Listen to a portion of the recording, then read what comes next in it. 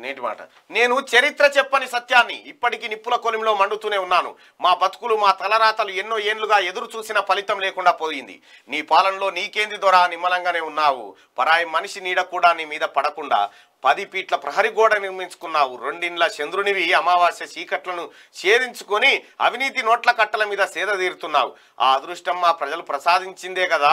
నీ మాయమాటలు ప్రసంగాలు విని రెండుసార్లు అధికారాన్ని కట్టబెట్టాం. ఎందరో త్యాగాలను విస్మరించి ఇవాళ ఎన్నో రాజభోగాలు అనుభవిస్తున్నావు.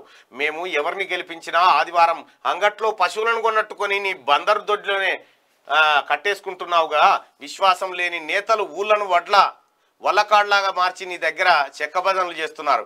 మళ్ళీ నీ కోట్లేసి గెలిపిస్తే మా ప్రాణాలను నీ కాళ్ళ దగ్గర తాకట్టు పెట్టినట్టే. పెద్దపల్లి రాజన్న ఏదో